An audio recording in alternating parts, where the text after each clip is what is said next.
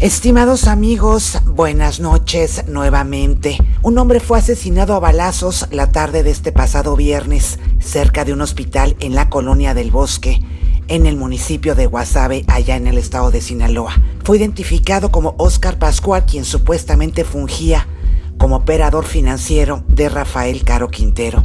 Las autoridades dieron a conocer que el occiso recibió por lo menos seis disparos con fusil AK-47 cuando se encontraba en una vagoneta afuera de una clínica privada.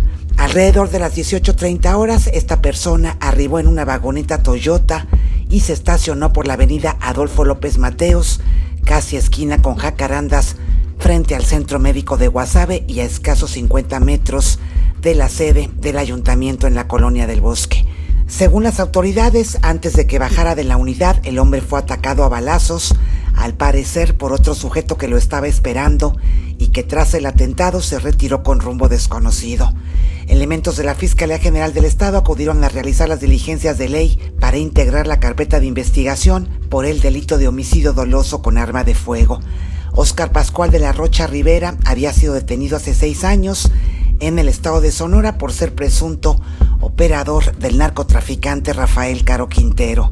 Archivos periodísticos de medios nacionales revelan que Óscar Pascual fue detenido el 22 de febrero del 2015 en Hermosillo por elementos de la entonces Policía Federal.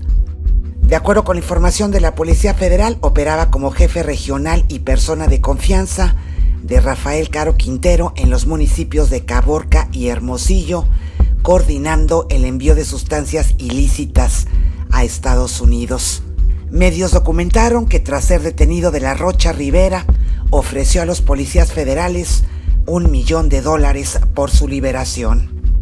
De acuerdo con el portal informativo puntualizando.com, Oscar Pascual de la Rocha Rivera no nada más era el operador financiero de Rafael Caro Quintero, sino que también era su cuñado.